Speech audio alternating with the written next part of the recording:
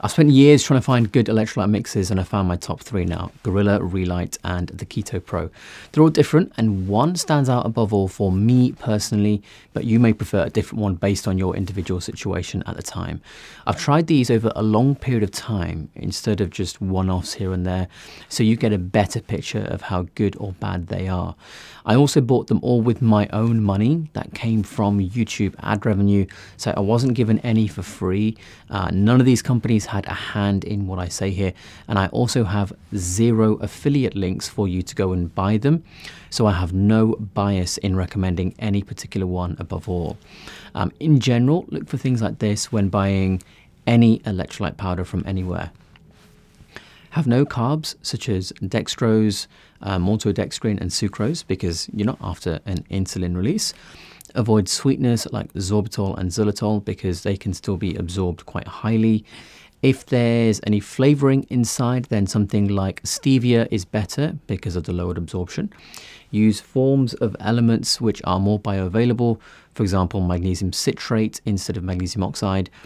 Understand that calcium can inhibit the absorption of other elements, so think twice about products that have calcium in them in high amounts. Uh, don't fear salt slash sodium because it's absolutely essential for us. If there's high sodium, then ensure you have enough potassium because sodium can make it more difficult for us to get enough potassium due to how the kidneys process sodium. And I'll explain this later on in the video. If they don't taste salty, then you're wasting your time. And finally, don't buy any electrolyte products that taste sweet with no saltiness because that's a sign it's been made to taste good instead of actually optimizing your electrolyte levels. In my personal opinion, Prime is one of the worst hydration drinks ever made, and that's one of the many reasons why. We'll start with Gorilla, which I have here. It's made by the guy behind uh, More Plates, More Dates on YouTube. His name is Derek something or other. Um, he's got quite a lot of products and he sells, and I've tried his electrolytes now for probably around six months or so. There's multiple flavors, and I've tried every single one. Jungle juice, which is a bit of a like a tropical flavor, grape, cherry, and this one here, which is bombsicle. It's like a sort of fizzy candy flavor. They all taste good. Um, I prefer the cherry one the most. There's no carbs, artificial sweeteners, or colors because it uses stevia instead for some flavor. But the most important thing is the ingredient list. In terms of the actual electrolytes, which is written on the back here, it's got heavy amounts of sodium, which is 750 milligrams, which is great, um, as well as chloride, magnesium, phosphorus, iodine, uh, potassium, and calcium as well. The potassium is in the form of potassium chloride, iodide, and phosphate, um, which are decent forms, and the magnesium is a bisglycinate, which again is a great form because it's very bioavailable but it's also got taurine here, and I can't work out how much, which is disappointing. If I've missed something and it is written somewhere, then please let me know in the comments and I'll make an amendment in a pinned comment under the video as well. Um, it's sweetened with stevia, which I think is much better than the alternatives. And it's also got vitamin K2 in the MK7 form. However, it doesn't say if the MK7 is in trans or cis form, which I think is quite important. But again, let me know in the comments if I've if I've if it's written somewhere and I've missed it. Uh, I am human after all, and that's not a gender thing, by the way. The trans and cis, um, that terminology has been used in chemistry long before any gender identity contexts. Um, and as far as I'm aware, we need the trans form for our species' physiology. And at the time of filming, at least, they haven't gotten back to me yet on which they used. If they do, I'll pin a comment down below as an update, so please check for that when you watch this. Um, I'll get my new editing team, Longwave Digital, to pull up this ingredients list on screen for you here. Um, you should see that overall, I think it has decent ratios between the different electrolytes. However, for me, the issue is the calcium. I think generally calcium supplementation, um, you know, it's for people who for some reason specifically need it because there are numerous risks with calcium supplementation, which you can look up. But that being said, those risks are generally there because there isn't enough adequate vitamin K2 alongside, in my opinion. So the fact that Derek has included K2 with his calcium is actually really impressive because that's such a sensible thing to do. And that's why, even though I would never look at electrolytes with calcium normally, this one I believe is a cut above the rest and is refreshingly nice to have on the market um, because of that K2 which has been added. The grey area is still, though, whether it inhibits the absorption of other minerals by taking it alongside. On the plus side, another really impressive thing with this product is that on the website, there's third party testing results where you can look up to see that what's advertised as being in the product is actually in there. Overall, I think it's a great product and it's been made by someone who has thought things through in terms of the formulation more than most of the products on the market. Now, one box of 30 sachets at full price is $45 at the time of making this video, but currently there is a 20% off deal at the time of filming. I think this is quite expensive compared to what else I'm about to show you. And the price alongside the lack of clarity on K2 MK7 form on the website are the only negative things I have to say about it really. Next up is Re-Lyte's Hydration. Um, I've taken this for about six months too. There's multiple flavors again, like berry, lemon lime, strawberry, watermelon, mango, pina colada, and this one is unflavored. Again, there's no carbohydrates or artificial sweeteners like Gorilla. Um, instead, it uses stevia, not this one, but the flavored ones, um, which is good if you can't stand this unflavored one, which I've used, and it is just about palatable. But what about the ingredients? The magnesium and potassium are in citrate form, which you can see on the ingredients list, which should be on screen now, um, of the lemon and lime flavor on screen. Um, there's plenty of sodium at 810 milligrams as well as chloride at 1280 milligrams. However, the calcium doesn't come with K2. There's coconut water powder, which might contain other things, and the potassium amount is on the borderline of just about being enough based on the amount of sodium that's present as well. The sodium to potassium ratio matters because the nephrons, which are structures in the kidneys, pull a lot of the sodium back into the body, but they can't do this for, for potassium to the same extent.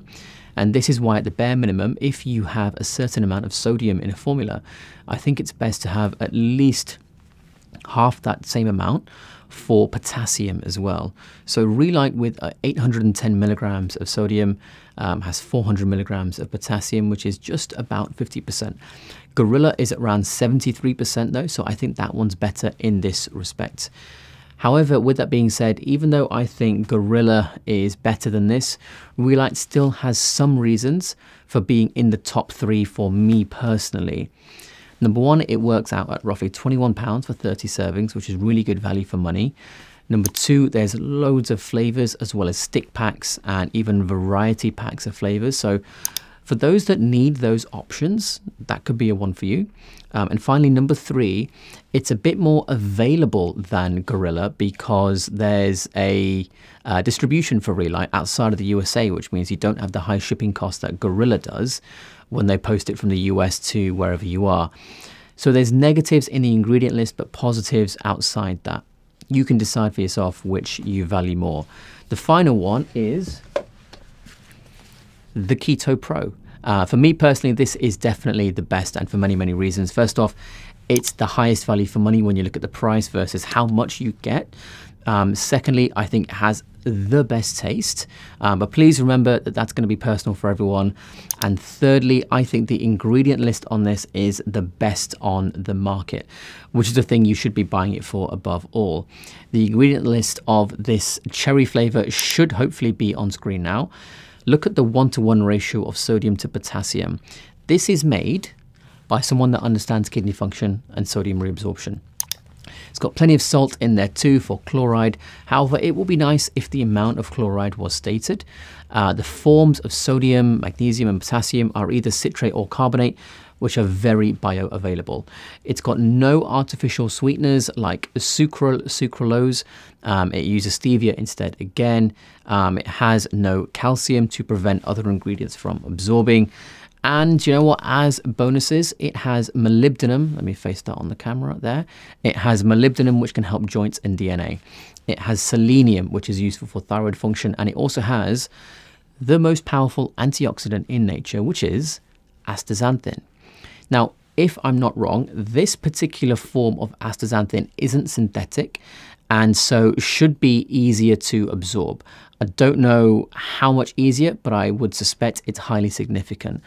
Um, you know, a useful characteristic of astaxanthin is that it can cross blood barriers to help things like the brain and the eyes. On top of that, I found this cherry flavor to be the best tasting electrolyte powder I have ever tried. Even when you just open the lid, it makes you want to drink it. The unflavored is quite some of it went into my nose there. The unflavored is quite salty as you'd uh, and also hope for but it's not ridiculous and I can easily have that if needed as well. The unflavored is great for people that are really strict carnivore and want to avoid the stevia and there's also a lemon and orange flavor if you prefer more of a citrusy taste. So for the highest value for money, let me face the camera again, there we go. For the highest value for money, the best formula and the best taste, this is easily my number one recommended electrolyte product out there. And I don't use anything else now. However, there are two minor downsides to it. The first one is that the company doesn't put the shipping cost to places outside of the UK, um, at least at the time of filming. I didn't see that on the site. Uh, and to see how much it would cost to ship somewhere else, you need to email them with what you'd like to buy, and then they can give you a quote. It'd be better if there was some sort of calculator on the page, which they might have made um, by now, by the time this video comes out. Uh, but regardless, that has nothing to do with the actual quality of the product. It's just a website thing. Second, I would have loved to have had seen a third party testing certificate on the website to show that what's advertised is exactly what's in the product. However, I have absolutely no doubt that that's the case anyway. A certificate would just be a cherry on the top. Um, no pun intended. Other electrolytes I've also tried in the past were Element, spelt L-M-N-T, Revival, Liquid IV, SiS, spelt S-I-S, Dr. Berg, and ORS. I haven't spoken about those here because I just flat out didn't think they were as good as the three in this video. And Element is one that I urge people to think twice about because it's involved with Peter Attia, who I believe is now in a lawsuit at the time of filming this for allegedly having links to what he promotes in a questionable way, shall we say, as far as I can work out. And so I personally don't know whether you should trust anything he puts his name to, frankly. Um, there's even alleged evidence floating around, if you look for it, that some of his recommendations, like um, in his tweets, were made immediately after someone emailed him asking him to say something good about their product with financial incentives uh, potentially attached as well, allegedly. Uh, the products mentioned here today, uh, Gorilla, Re-Lyte, and the Keto Pro, are ones that I think are free of that kind of dodgy business, though and I have no connection to any of the manufacturers. And like I said, there are no affiliate links here. If you've tried any of the brands I've mentioned here today or others, please comment below um, what you thought of them because I might make a follow-up video with other brands reviewed if you put one down that I haven't checked out yet.